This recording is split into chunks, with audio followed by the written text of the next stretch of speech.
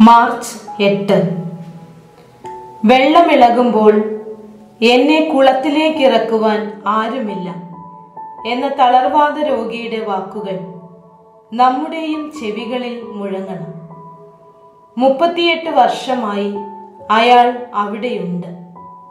സൗഖ്യം ലഭിക്കുന്ന കുളത്തിലേക്ക് ഇറക്കാൻ ആരുമില്ലാത്തവർ നമ്മുടെ ചുറ്റിലും നിരവധിയുണ്ട്.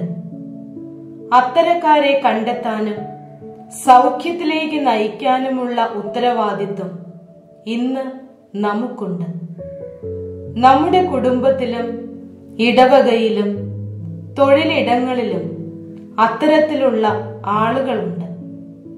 ഈശോയെ പോലെ അവരെ തേടി ചെല്ലാനും കണ്ടെത്താനും സൗഖ്യത്തിലേക്ക് നയിക്കാനും ഇന്ന് അയക്കപ്പെട്ടിരിക്കുന്നത് നാം ഓരോരുത്തരുമാണ്.